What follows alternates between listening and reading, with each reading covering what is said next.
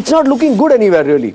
Uh, it's, it's the, the question is only in relative terms if you were to move your money from as one asset class to the other. Uh, but as I said, the, the overwhelming sentiment is one of fear. But the, the depreciating rupee may have positive consequences for the IT industry. Uh, what does this mean for the IT industry? How is the industry positioned? What are companies doing? I'm joined by Vineet Nayyar, Vice Chairman of Tech Mahindra, uh, in this conversation. Vineet, thank you so much indeed for joining us today.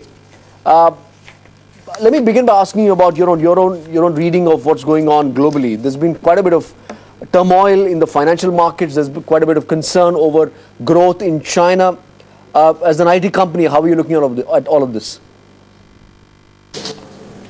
Oh, well, uh, let's look at the uh, rupee in totality. I do think that uh, rupee was overvalued and it needed adjustment.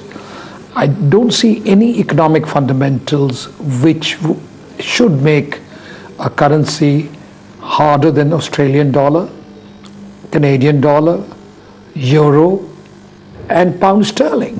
If you see the last year, this is, uh, rupee had hardened against all these currencies. Mm. And I don't believe that our fundamentals, howsoever good they may be or may not be, truly justified uh, this kind of movement. The only currency which is uh, shot ahead of us in hardness is US dollar, but that is for multiple reasons which you all know. Uh, and uh, other currencies have adjusted to a lower level as it should. So I'm neither overly worried.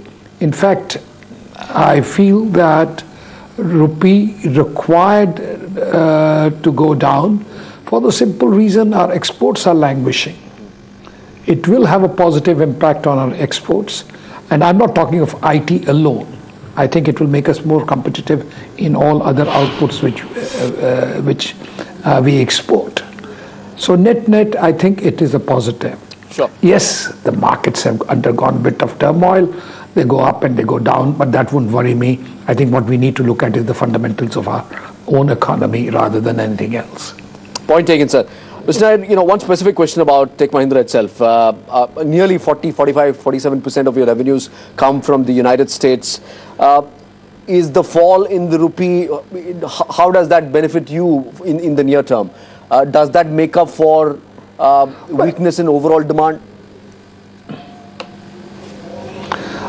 Well, in a way, it, it, I mean, I would admit it is a positive uh, and it would have an impact on the bottom line, albeit not a very significant one because half our expenditure or more than half our expenditure is done in India. Uh, that is one part of it. But then we have to look at it the other way around also. It has hardened vis-a-vis Europe, euro. It has hardened vis-a-vis um, sterling. So net net, is it a wash? Perhaps not. Uh, there will be uh, a marginal uh, upside from the current currency situation, uh, but nothing to gloat about. Okay. Nothing dramatic. Uh, Ms. Nayyar, when you talk to clients overseas, particularly the, in, in, the US, what's the sense that you're getting? Uh, uh, is growth happening as it was expected? Is it slower? Um, are businesses willing to invest afresh? Is that translating into budgets? No, I, we are seeing an uptick. In, if you mean the U.S., we are seeing an uptick there, and uh, hopefully we'll be able to harvest bit of that going forward. Would you say the same sentiment uh, applies to clients in, in Europe as well? Europe is going through a very different process. Mm. Namely, they realize that the cost structure they have built is an inefficient one. And uh, if they have to become competitive, they would need to do something. And in technology, they are looking uh, far more favorably at outsourcing than they used to do traditionally. The only country which was always went in for outsourcing was UK. If I take the UK out, uh, rest of Europe, you are seeing uh, um, a significant improvement in, in, in the environment insofar as IT companies in India is concerned. That doesn't mean that issues relating to their labor protection laws and other things have disappeared. But that's something they're willing to look at now, which they were not willing to do earlier. Uh, Mr. Nayyar, I, I also want to focus on uh, the latest news from your stable of, of a license from the Reserve Bank of India for a payment bank. You're the, I think if I'm not wrong, you're the only IT player who's, who's received a license for the payment bank. Could you give us a sense of what the plan is and what do you hope to achieve? Uh, to, to achieve? Well, it's part of the Prime Minister's plan to franchise a large population of India which was defranchised completely. Uh, I mean, it started with opening of the bank accounts. And lo and behold, uh, banks which were most averse to it gained significantly because of additional liquidity which flowed in. Uh, how do you bring in folks in the rural areas into our financial markets?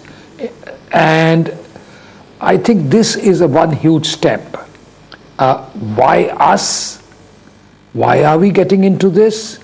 I think there are multiple reasons. One, we have a product. We, in fact, we have two products, Mobiquity and Mobile Money. Uh, insofar as Mobiquity is concerned, we are uh, using that for transferring uh, money into rural areas in over 30 countries in the world. I think uh, we do, if I mistake not, transactions worth a few billion dollars a month in Africa. We are in Bangladesh. We are doing it in Latin America. So we have a product ready and working at this point of time, which we can transport straight into India, into our own country. Uh, number two, we have Mahindra Finance, uh, which works in the rural areas largely. Mm. And even otherwise, if you look at M&M, it is, uh, or Mahindra's, it's a name very familiar in the rural areas because of the agriculture appliances and tractors. Sure.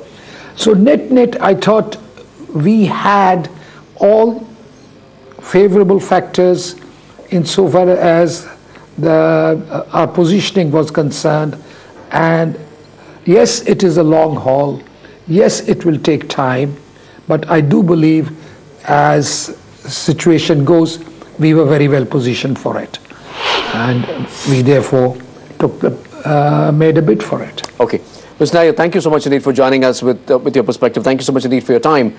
Vineet Nayyar from Tech Mahindra, they've got a banking, they've got a payments bank's license, uh, and he was also talking about the impact of the currency on there. You're, like, you're likely to see tech earnings for the quarter look good because the rupee, rupee is depreciating and clo moving closer to that 67 to the dollar mark. But as we end the show, uh, the question is, will they or won't